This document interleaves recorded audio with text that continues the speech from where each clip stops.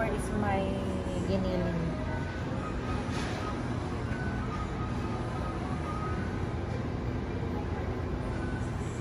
Basta wag kong kakalimutan yung ano.